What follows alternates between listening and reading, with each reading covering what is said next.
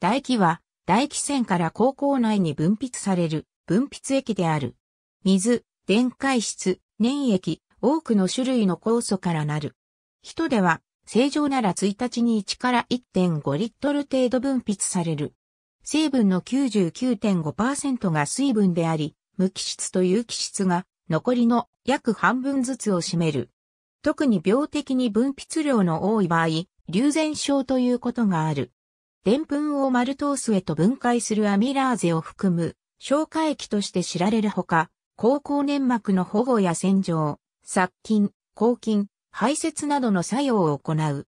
また、干渉液として pH が急激に低下しないように働くことで、汚食の予防も行っている。空腹時に食物を見て、これを咀嚼したとき、粘り気の少ない消液性の唾液が大量分泌され、これにより食物は湿らされる。このことにより粉砕しやすくなり、食塊の形成や塩化を容易にする。また、嘔吐の前兆として、苦味のある唾液が大量分泌される。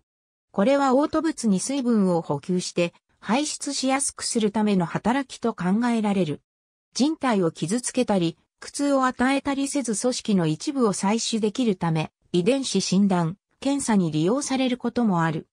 主要成分は NA、K、CA2、CL、ハコ酸、ムキリン酸であり、このほか MG2、亜硝酸イオンや F- が含まれる。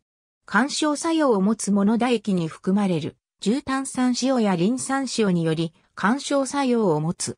殺菌、抗菌作用を持つモノ唾液に含まれる多くの物質により殺菌、抗菌作用を持つ。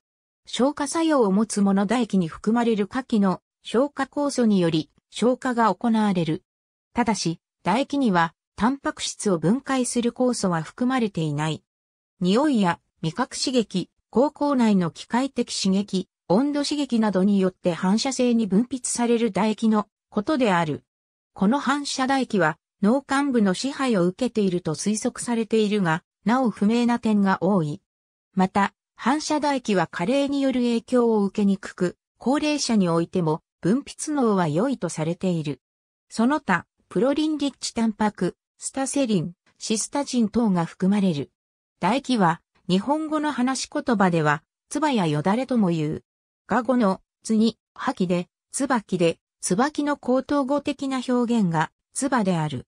またよだれは、口から無意識のうちに、外部へと流れ出てしまった唾液を指す。また、乳児の首にかけて、よだれを受け止める布を特によだれかけという。ありがとうございます。